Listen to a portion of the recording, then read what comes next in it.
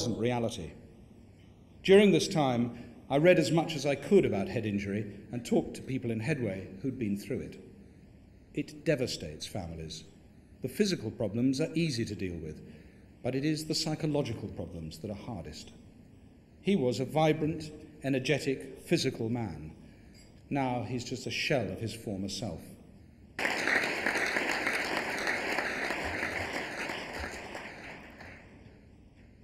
Ladies and gentlemen, Her Royal Highness, the Princess of Wales, would like to make a short statement.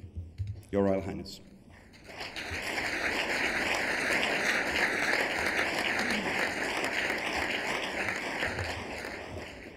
Ladies and gentlemen, it is a great pleasure to be here with you, sharing in your successes of the past year. Headway has grown into an organisation which is improving the quality of so many lives. I'm so proud of the work you've achieved. In the past 12 years, I can honestly say that one of my greatest pleasures has been my association with people like yourself. During those years, I've met many thousands of wonderful and extraordinary people, both here and around the world. The cared for and the carers.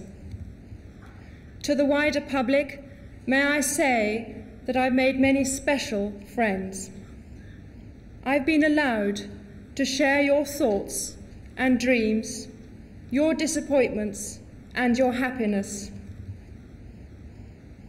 You have also given me an education by teaching me more about life and living than any books or teachers could have done. My debt of gratitude to you all is immense. I hope in some small way I have been of service in return.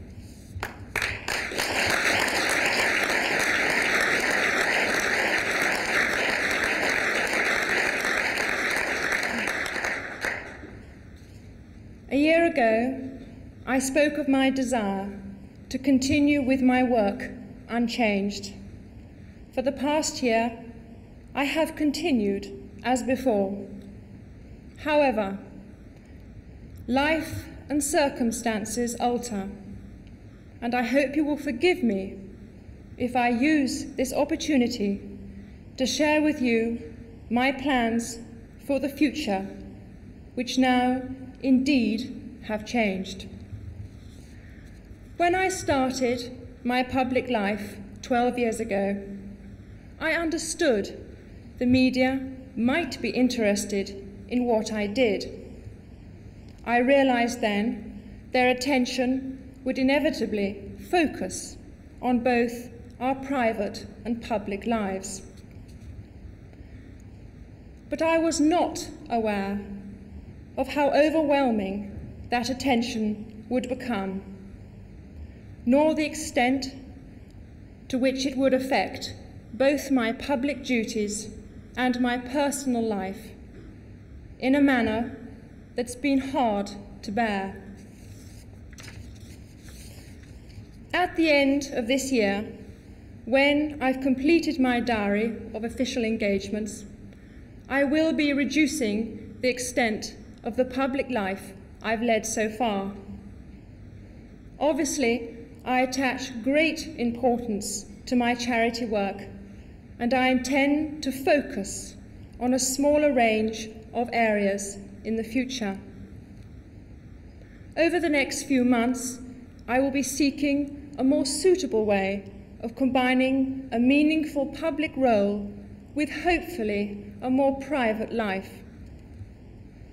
My first priority will continue to be our children, William and Harry, who deserve as much love and care and attention as I am able to give, as well as a, an appreciation of the tradition into which they were born.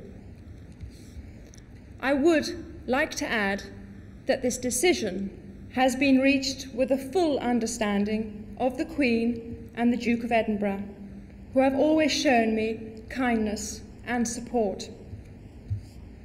I hope you can find it in your hearts to understand and to give me the time and space that has been lacking in recent years. I couldn't stand here today and make this sort of statement without acknowledging the heartfelt support I've been given the public, I've been given by the public in general.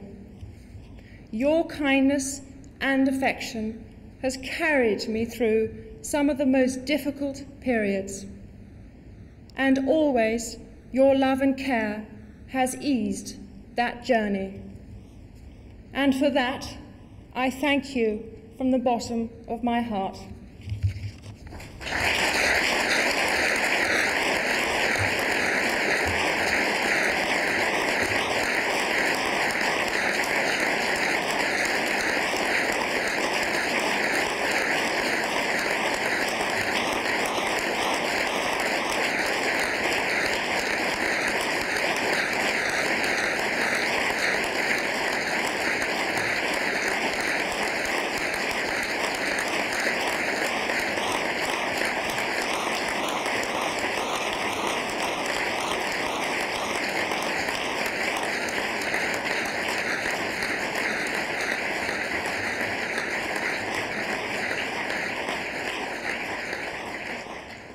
Your Royal Highness, I know I speak for all of us when I say we sympathise with the decision you have taken.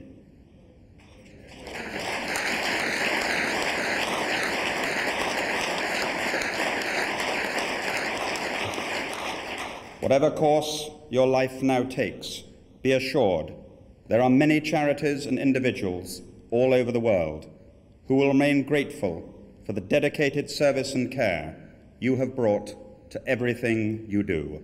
On behalf of those people who cannot be with us today, thank you. Ladies and gentlemen, Her Royal Highness, the Princess of Wales.